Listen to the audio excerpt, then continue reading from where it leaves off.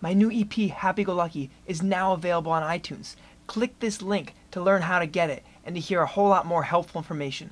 I really hope you like it.